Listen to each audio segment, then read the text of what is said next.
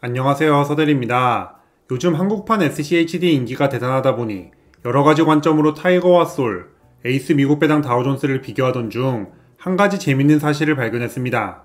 바로 한국판 SCHD를 매수할 때 피해야 할 날짜가 있다는 점입니다. 이 내용을 이해하기 위해서는 먼저 ETF 괴리율을 알아야 하는데요. 괴리율은 ETF 주가와 ETF 기준 가격의 차이를 나타내는 숫자입니다. 참고로 ETF는 주식처럼 사고 팔 수 있지만 결국 펀드이기 때문에 가치를 측정할 수 있고 이를 ETF 발행 수량으로 나누면 ETF 기준 가격이 됩니다. 즉, 괴리율이 0이면 현재 시장에서 거래되는 ETF 가격이 ETF 순자산이랑 동일하다는 의미입니다.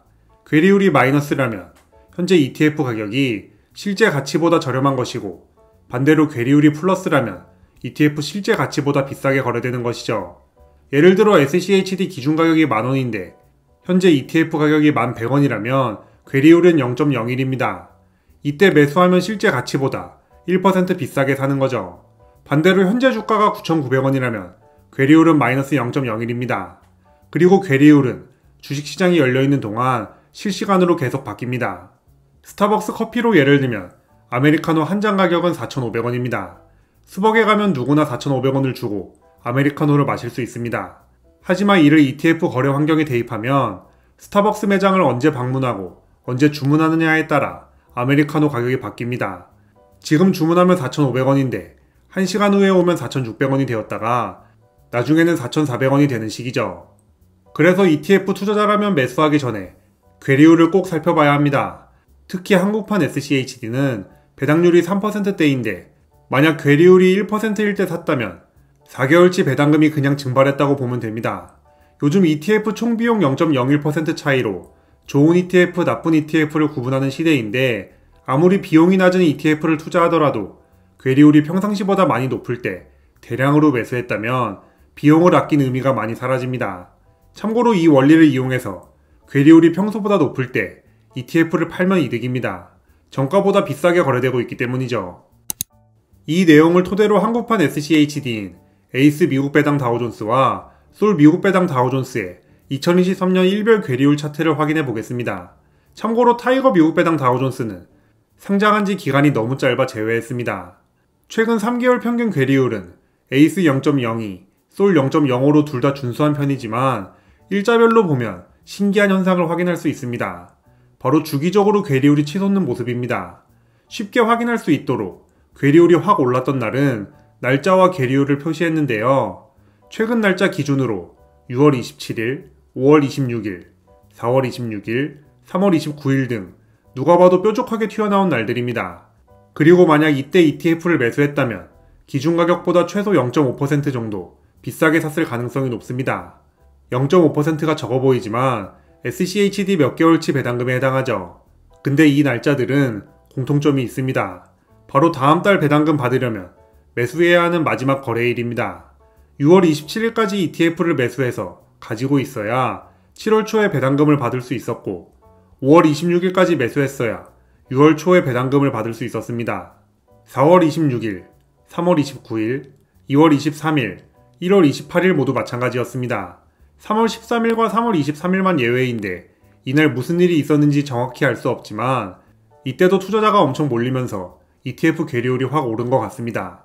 이런 현상이 발생하는 이유는 배당금 받으려는 투자자가 매수 마감일에 많이 몰렸기 때문입니다. 찬바람 불 때 배당주라는 국내 주식 속담처럼 보통 한국 주식 배당주는 연말이 되면 배당금 받으려는 투자자가 몰리면서 주가가 오르는 경향이 있습니다.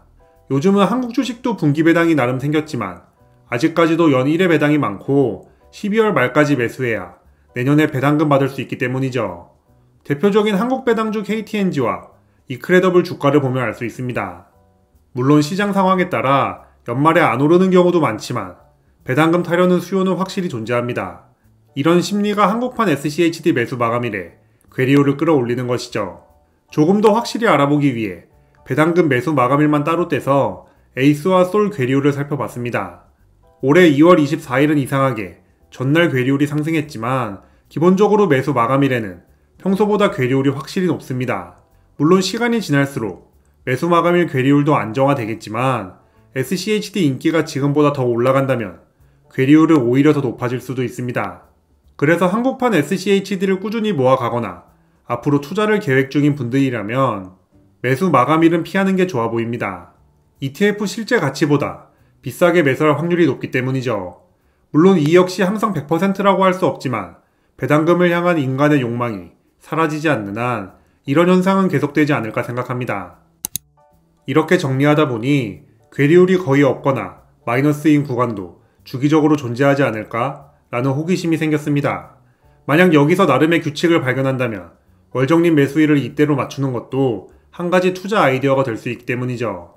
그리고 차트를 대강 살펴보면 매월 중순쯤 괴리율이 마이너스로 자주 내려가는 느낌이라 5일 단위로 나눠서 구간별 평균 괴리율도 계산해 봤습니다. 그 결과 매월 6일에서 10일, 16일에서 20일, 20일에서 25일 평균 괴리율이 가장 낮았습니다. 매수 마감일이 포함된 26일에서 31일 구간은 앞에서 살펴본 대로 괴리율이 가장 높았습니다.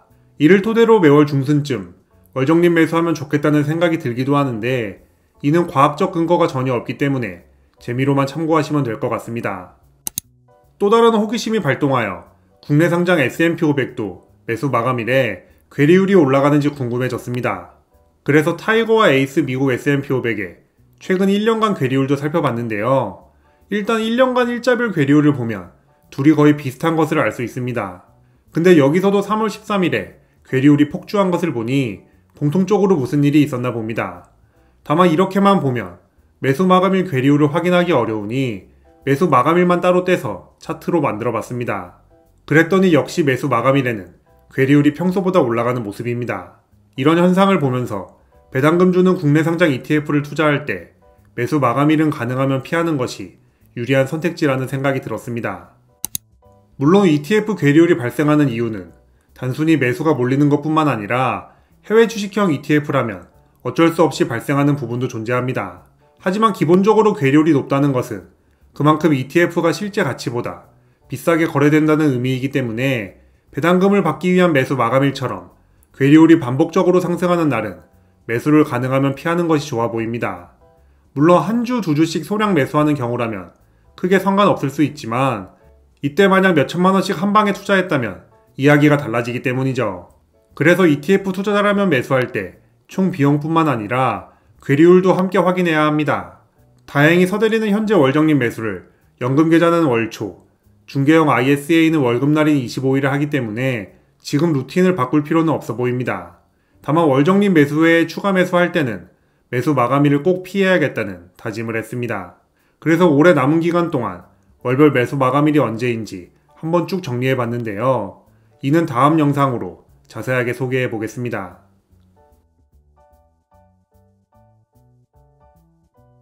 그럼 오늘도 긴 영상 시청해 주셔서 감사합니다. 제 채널이 구독자님들의 자본주의 라이프에 조금이나마 도움이 되었으면 좋겠습니다. 지금까지 서대리였습니다.